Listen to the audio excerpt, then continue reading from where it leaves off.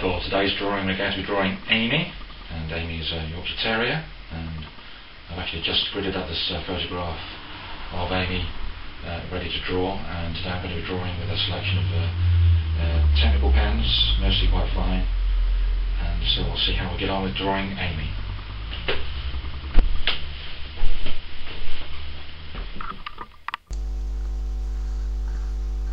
Well, first we're sort of lightly drawing out Amy in pencil, took me quite a while to get the head right, uh, but uh, we made several attempts I think, but eventually we got it uh, sort of right.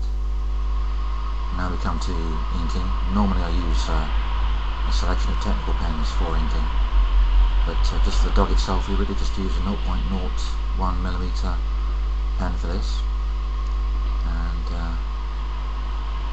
just because there was no solid lines, there was no outline, gave a good uh, way to do the furry texture of the dog. And this actually dog was actually uh, from a, one of my own photographs uh, taken just a few weeks ago. And here we are drawing the gravel in the background. It was done as a kind of sort of abstract pattern really, and mostly just to keep it light so the dog's dark parts of the dog were slightly darker and made it stand out. And there's the finished image.